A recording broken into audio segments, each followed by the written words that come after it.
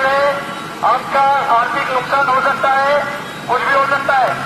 आपके मोबाइल के ऊपर 140 नंबर से कोई भी कॉल आए तो कृपया करके वो कॉल रिसीव मत करो। उठाते हो आपके मोबाइल के ऊपर, आपका पूरा बैंक बैलेंस हैक हो जाएगा।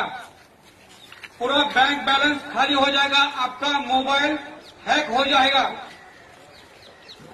ये सभी सभी ने ख्याल रखना है, अपने मोबाइल के ऊपर, अपने खुद के मोबाइल के ऊपर, जो शुरू में 140 नंबर का जो कॉल आता है।